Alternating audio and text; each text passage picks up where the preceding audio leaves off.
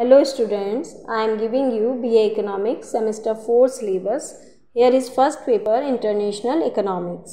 First unit is Theories of International Trade.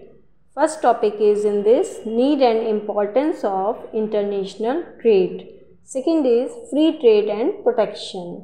Third is Mercantilism. Fourth is Absolute Cost Advantage Theory.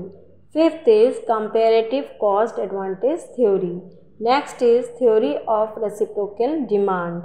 Next is terms of trade, meaning, types and determination. Second unit is the balance of payments. First topic is concept and components of balance of trade and balance of payment. Second topic is disequilibrium and measures to correct balance of payments. Third is foreign trade of India and foreign trade policy of India.